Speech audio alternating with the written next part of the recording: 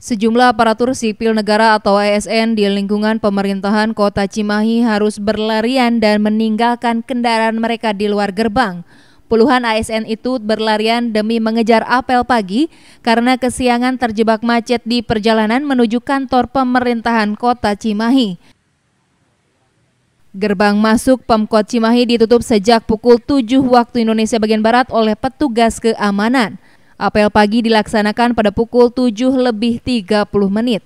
Hari ini ASN diwajibkan masuk kerja sesuai dengan instruksi Kementerian Pendayagunaan Aparatur Negara dan Reformasi Birokrasi atau Kemenpan RB setelah cuti bersama libur panjang lebaran.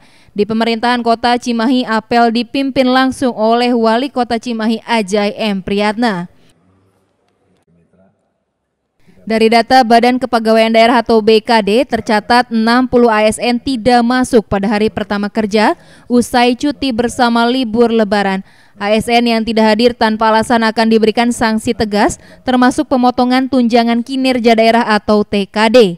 Sanksi diberikan sesuai dengan PP nomor 53 tahun 2010 tentang kedisiplinan ASN. Pemerintah Kota Cimahi pun akan memberikan sanksi tegas mulai dari teguran hingga pemotongan gaji jika para PNS bolos tanpa alasan selama dua hari ke depan. Dan yang paling jelas sanksi lokal dari kita adalah yang berkaitan dengan TKD. Pasti ada pemotongan kalau itu tidak ada alasan ya eh, alasan ketidakhadiran yang ada kedinasan atau tidak kedinasan tetap kalau TKD akan dilaksanakan.